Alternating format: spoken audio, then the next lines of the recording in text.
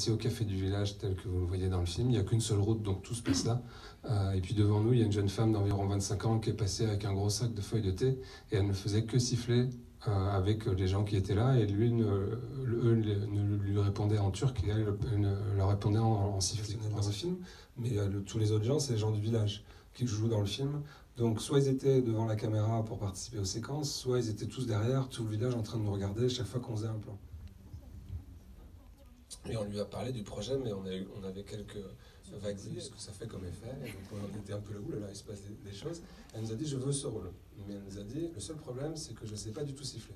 On s'est dit, ouf, c'est un problème. Mais elle nous a dit, je veux pas que ça soit un handicap, je vais bosser et je vais apprendre la langue siffler.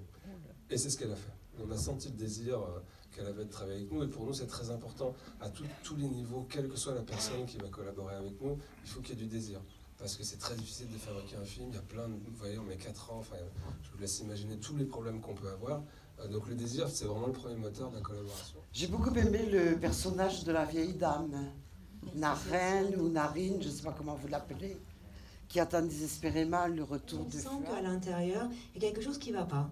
C'est pas ça qu'elle veut faire, mais elle ne sait pas quoi faire d'autre parce que si on sort du chemin, on a deux options dans ce village. On peut devenir Sibel, on peut devenir Narine c'est le cas ici, euh, et donc qui aiment leur film et qui vont en parler autour. Et c'est comme ça aussi qu'on contribue un tout petit peu à ce que la sortie du film, ben, il faut que tous les gens qui sont là, qui l'ont aimé, ils en parlent autour de lui. Et quand le film va sortir, ah mais voilà, j'ai beaucoup aimé, moi je l'ai vu, et les réalisateurs étaient là, ils étaient sympas d'ailleurs. Merci beaucoup, merci, merci, merci, d'avoir été est ici.